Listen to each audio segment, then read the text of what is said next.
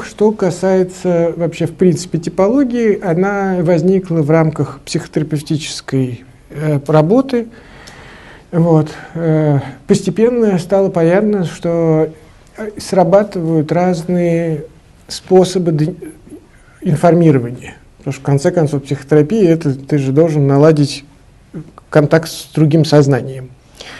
И вот это э, у меня был, я рассказывал на эту случай или нет, у меня такой был замечательный шеф-редактор Юлия Бредун на э, докторе Курпатове. Вот, и мы снимали, значит, программу когда, на домашнем, вот, все, в одной квартире, там мы жили, в одной квартире снимали, значит, э, в столов, в этой, кухне была редакторская, значит, монтажки стояли, монтировали, все, там полный цикл был в трехкомнатной квартире, значит, на чистых прудах. Вот. И, да, и я записывал к истории эти, да, ну, с человеком. И я сижу и значит, повторяю одно и то же, одно и то же, одно и то же. Вот. И ну, Юля тогда еще э, как бы не, не до конца понимала, что я делаю, потом уже блестяще лучше меня справлялась. Вот, э, она говорит, доктор, ну они меня звали доктор, доктор, ты зачем одно и то же все время говоришь разными словами?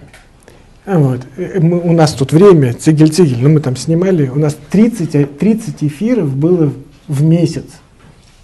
30 эфиров. Вот. И мы это снимали как этот... Вот. И э, побыстрее бы. Чего ты 10, одно и то же 10 раз рассказываешь? Я говорю, солнце, тебе надо, чтобы они в конце улыбались и, и радовались. Он говорит, надо.